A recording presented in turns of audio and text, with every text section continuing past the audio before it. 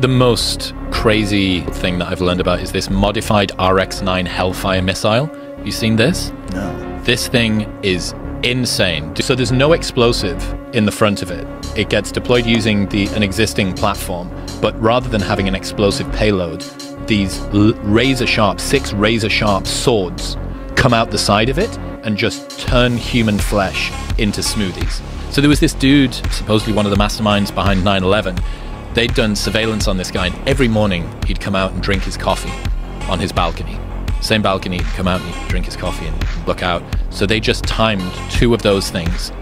Comes out, mm, and that's it. There's no explosion, there's no nothing, and this guy just gets turned into dust.